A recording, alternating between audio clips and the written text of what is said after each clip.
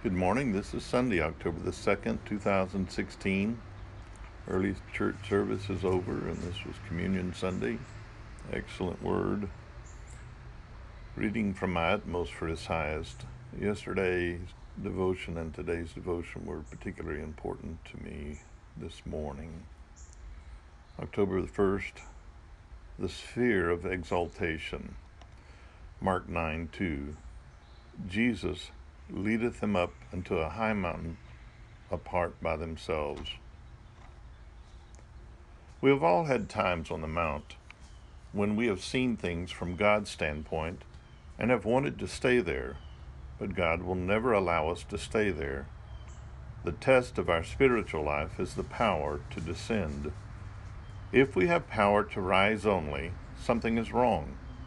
It is a great thing to be on the mount with God but a man only gets there in order that afterwards he may get down among the devil possessed and lift them up. We are not built for the mountains and the dawns and aesthetic affinities. Those are for moments of inspiration, that is all. We are built for the valley, for the ordinary stuff we are in, and that is where we have to prove our mettle. Spiritual selfishness always wants repeated moments on the mount.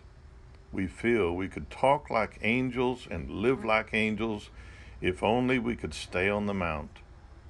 The times of exaltation are exceptional. They have their meaning in our life with God, but we must beware lest our spiritual selfishness wants to make them the only time. We are apt to think that everything that happens is to be turned into useful teaching. It is to be turned into something better than teaching. It is to be turned into character.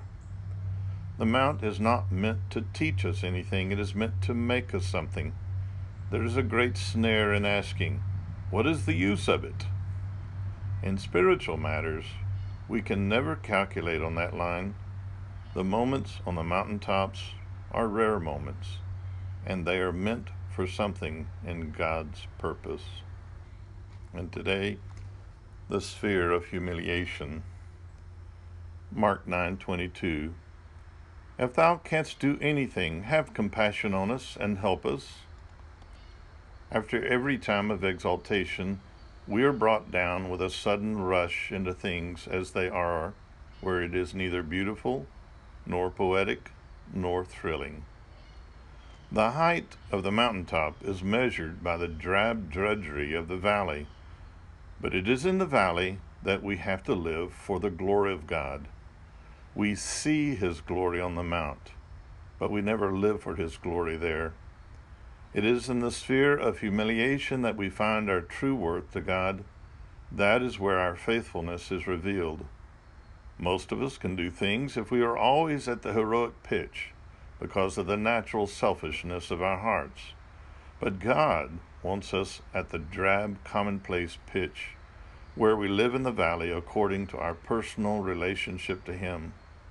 Peter thought it would be a fine thing for them to remain on the mount, but Jesus Christ took the disciples down from the mount into the valley, the place where the meaning of the vision is explained.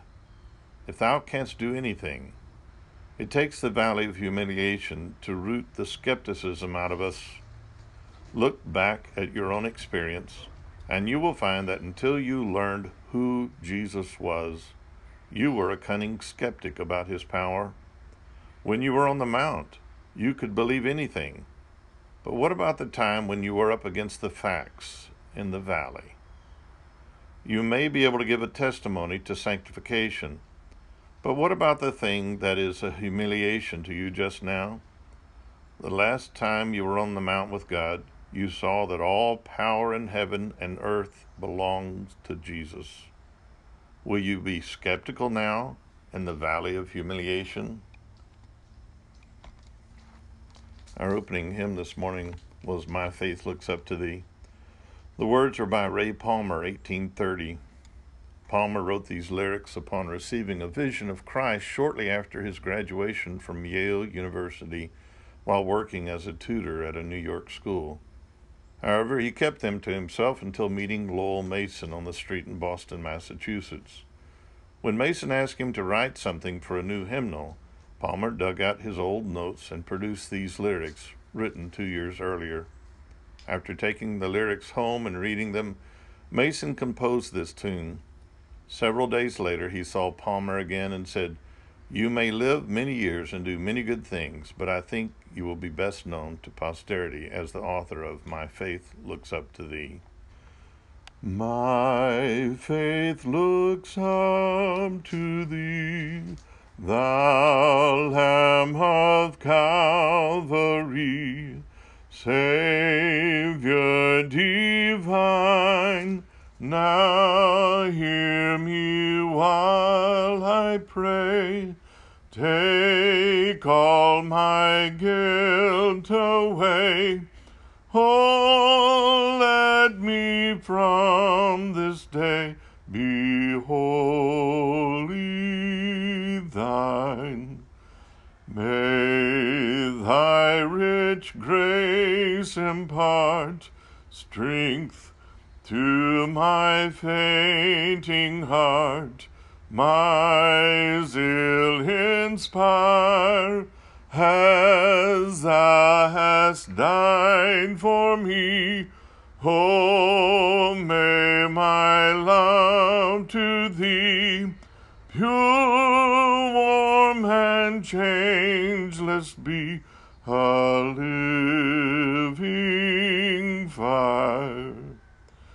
While life's dark maze I tread, when griefs around me spread, be thou my guide, bid darkness turn to day, wipe sorrow's tears away, nor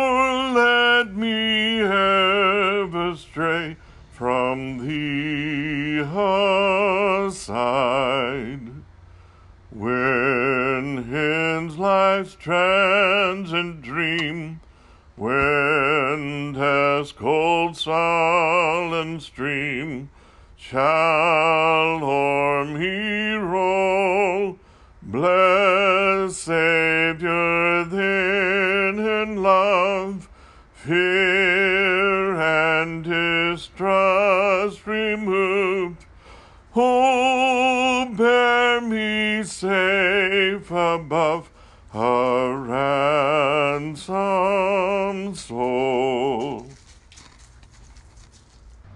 Father, let us not forget the times on the mount that we have been in your presence and have seen that all power in heaven and on earth belong to Jesus.